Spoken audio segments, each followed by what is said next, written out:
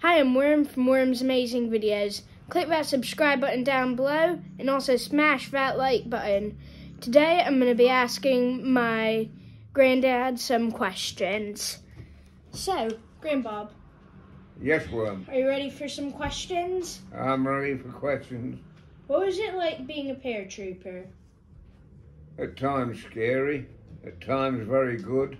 Plenty comrades, good good men, and you stood amongst men you could rely upon for your life. Could you explain what a paratrooper is, please? Well, he's a man that sort of jumps out of an aircraft with a parachute. That's the basic thing. But the, but the uh, more important aspect is that he, the paratrooper, has to be specially trained uh, for operations. How old were How old were you when you joined? When I joined the paras, I joined the paras, I would be, I think, uh, that's, I think about 24. But I had been in the military before I joined the paras. Nice. What year did you join? The paras, the, I joined the army in 1956 and I transferred to the paras in 1960. Um, what tribes did you work with during the war?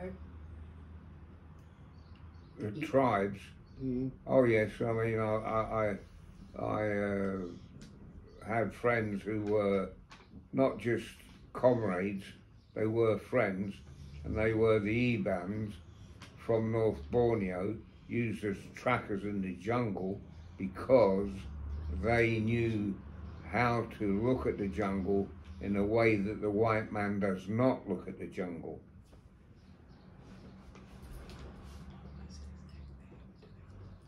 What was your nickname? Oh, they called me Boyer. How come? the Ibans call me Boyer because uh, it's crocodile. And and I thought, well, you know, forgive me, oh, it's a good name that, you know, when you think of the, you know, the crocodile being, a, especially a salt water crocodile, being a rather dangerous animal. But they told me that the reason they called me Boyer was because I would eat anything. Could you give us some uh, some examples of what you would eat? Well, I mean, rats, uh, dog meat, uh, snake, uh, uh, you know, and sort of de- de- delicacies of that type, which you find that you will eat if you are starving. You're living in the jungle, right? Yeah. They're living in the jungle Malay. You would think it was.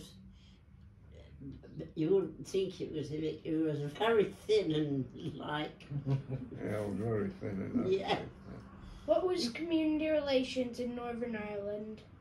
community relations that was uh, referring to the military work was where certain men were selected by their colonel to move amongst the ci- civilian population wearing plain clothes and helping those that you were working with, uh, uh, the civilians, um, helping them to uh,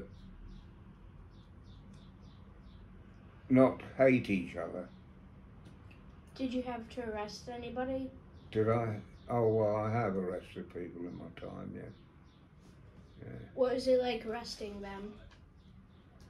Well, usually it's pretty dramatic because you know when when the military had to arrest people, they weren't trained as police, so um, uh, it was not as if they were handling people as a policeman would. Right. Uh, that's what I, I put that down. Um, what wars were you in? What wars were you involved in? Well, uh, uh, um, emergencies. Uh, well, starting Malaya, the Malaysian uh, uh, conflict. Um, many areas of the Middle East, you know, stretching on operations from actually most of North North Africa, Libya, um, uh, the Persian Gulf, um, places like Yas Island, where one time we were parachuted in there, the ambient temperature was 61 degrees, which on um, uh, the Fahrenheit scale is 142. And, uh, you know, men, men there died just merely because they got heat stroke. Um, and heat stroke is where the um, temperature regulator in your brain goes kaput, it's finished. And that means you warm up to local temperature. Um, other places I have been operational was many times in Cyprus uh, and also uh, very many times in Northern Ireland. Uh, I have, uh, or did, you know, operationally speaking, uh, work in civilian clothes in Northern Ireland. And um, uh, and and in uniform. And where else? Berlin. Pardon? Berlin. Oh yes, Berlin, Berlin during the Cold War, and we knew that uh, um, if the Russians did attack, they would gas us, and that was where one droplet of uh, I forget the name of the stuff, but one droplet on the skin would uh, put you into uh, traumatic uh, convulsion, and uh, would would most probably result in your death, or almost certainly result in your death. So you therefore had to have certain quick drills to put on your complete um, anti-gas uh, clothing and to uh, put your respirator on.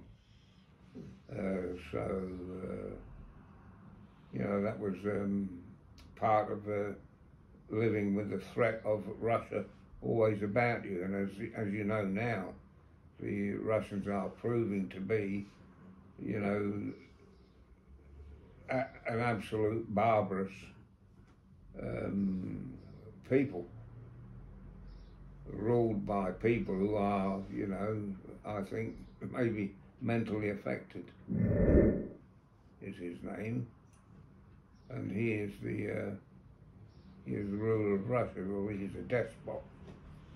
Means that you're not sort of, you know, you, if we talk about democracy and uh, looking for, um, you know, de dem democratic election of officials uh, to rule the country, that is definitely not the case in Russia. um, but um, I can't think of all He could have places. been a friend of. Uh, he, he, he lived in Berlin for four years, didn't you? No, I think Berlin was about uh, two years. Two two years. years. Two years. But he, he had a friend who was an American. Guys, thank you for watching. Remember to click that subscribe button down below and also smash that like button hardcore. Peace.